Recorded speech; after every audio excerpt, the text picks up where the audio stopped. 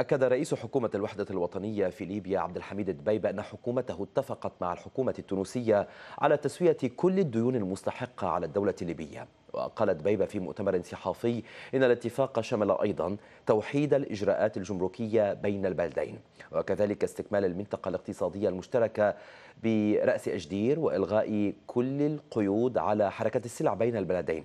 كما اتفق الطرفان على تأليف فرق أو فريق لمعالجة أزمة تشابه الأسماء التي تعرقل المسافرين الليبيين في المعابر الحدودية.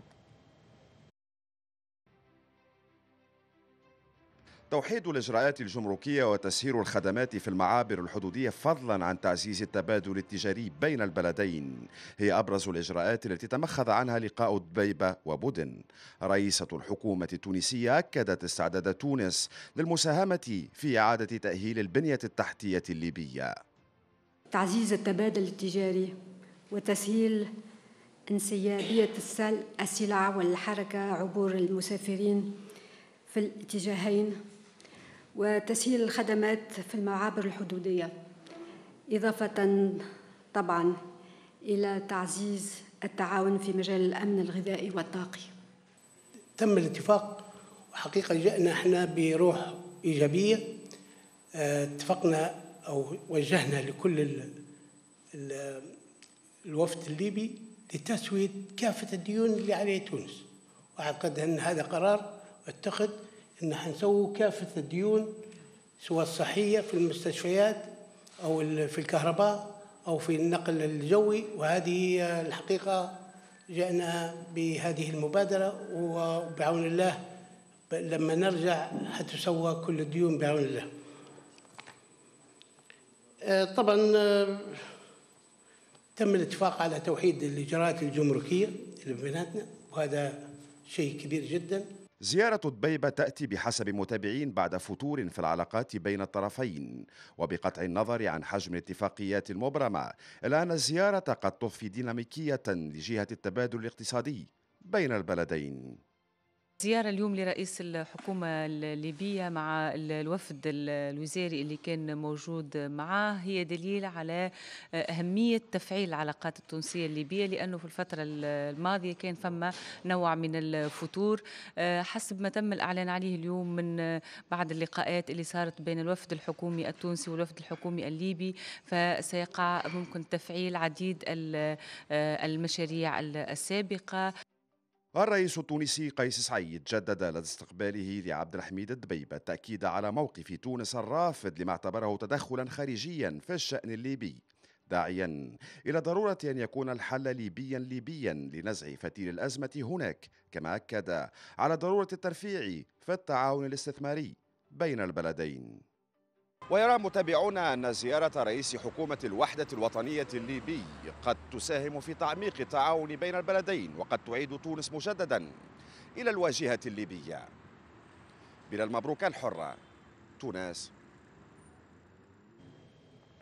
ينضم إلينا من طرابلس الكاتب والمحلل السياسي إسلام الحاج. أستاذ إسلام تعزيز التعاون في مجال الطاقة توحيد الإجراءات الجمركية تعزيز أيضا التبادل التجاري آه، وإلى ما هناك من آه، تفاهمات بين البلدين. ما أهمية ما يجري اليوم بين طرابلس آه، وتونس؟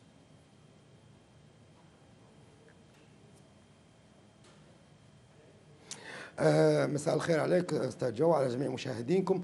طبعا أكيد في تداعيات لهذه الزيارة. طبعا لا ننسى أن الخلاف الذي حصل ما بين السيد دبيبه وتصريحاته آه، في إحدى كلماته آه، في طرابلس والتي رمى فيها المسؤولية على تسرب أو دخول بعض العناصر الإرهابية إلى ليبيا. وذلك ردا على أيضا آه، تصريح لأحد المسؤولين التونسيين بأن آه، الإرهاب أو بمعنى صح أن بعض العناصر الإرهابية متواجدة في ليبيا وتدخل إلى تونس بغية آه، لجلب اضطرابات أو لإثارة فوضى أو عمليات إرهابية. من هنا طبعا الزيارة هذه أتت نتيجة هذا التوتر في التصريحات ما بين البلدين، وأيضا لا ننسى أن الوضع المتقلب في الدول أو الدول المغاربية يعني خصوصا ما بين الجزائر والمغرب وحتى القمة الأخيرة التي حدثت في الجزائر وما حدث فيها من تباين كبير. يعني لا زالت الخلافات موجودة بين بعض الدول المغاربية. أيضا لا ننسى أن السيد دبيبه وما آه، يحيط به الآن آه، من بعض العزلة أو القليل من العزلة الداخلية في الداخل الليبي والذي يحاول أن يخرج من هذا الطوق الذي آه، هو موجود فيه حاليا خصوصا بعد العديد من الجهات السياسية والتي تعتبر قد يعني رجعت في توافقاتها مع السيد دبيبه فهو يسعى إلى التأكيد بهذه الزيارات الخارجية وخصوصا إلى آه، إلى تونس هي ابتدأ بتونس هو التأكيد على أنه هو السلطة الشرعية الوحيدة الممثلة لليبيا خصوصا أن ننسى لا ننسى أن الوفد الرفيع المستوى الذي ذهب معه هو زيادة للتأكيد لتونس بأن أي وعود أو أي اتفاقيات قد تحدث ما بينه وما بين الحكومة التونسية آه، سوف تكون آه، أكيد ثابتة وراسخة وأنه قد أحضر معه يعني مثلا المحافظ مصرفي بالمركزي رئيس ديوان المحاسبة آه، في في ليبيا آه، أيضا آه، وزير العمل ووزير الاقتصاد وغيرهم من الشخصيات طيب البارزة في أستاذ إسلام يعني, يعني هذه الزياره كما تقول يعني تأتي بعد فتور في العلاقات بين الطرفين وتحديدا بعد ما قاله دبيبه ولكن هذه الديناميكية التي ممكن أن تضاف على التبادل الاقتصادي بين الطرفين بسبب هذه الزيارة. إلى أي مدى ممكن أن ينعكس أيضا ديناميكية في السياسة بين الطرفين؟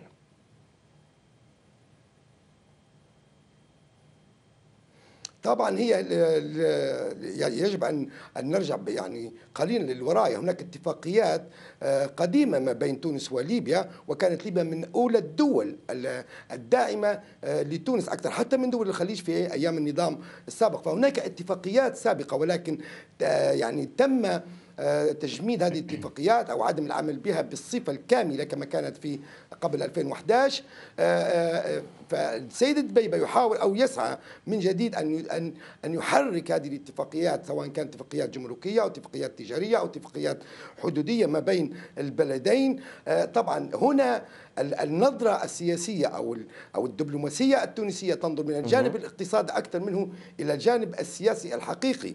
ولكن آه، السيد هنا يريد استغلال هذا الوضع أو انتهاز الفرصة في الوضع الاقتصادي في تونس والذي يعاني ويعاني يعاني من مدة من مدة ثلاث سنوات ماضية إلى يومنا هذا.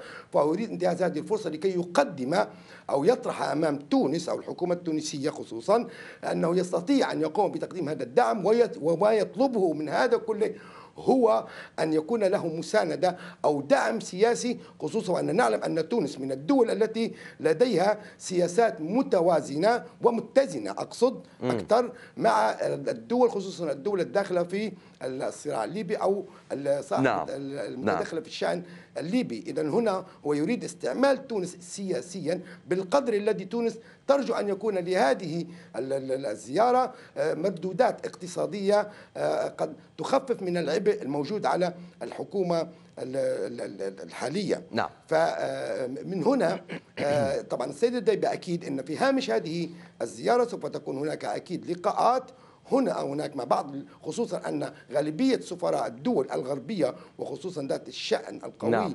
في الأزمة الليبية سفراءها موجودين إقامتهم في تونس وهم سفراء تلك الدول في ليبيا ف آه، يعني نعم. مع هذا الوفد الرفيع أنا أؤكد وأجزم أنها ستكون هناك لقاءات هامشية تهم السيد دبيبة أكثر من أي آه، وضع اقتصادي قد يستطيع أن يقدم هذه الوعود مثل ما حدث معه في التقارب. نعم. آه، في بداية استلامه للسلطة مع مصر. شكرا أستاذ إسلام الحاج. ما يعادل 33 مليار والتي لم يستطيع السيد دبيبة الكاتب والمحلل السياسي يعني إسلام الحاج من طرابلس. شكرا رغم هذه الزيارة لوجودك معنا.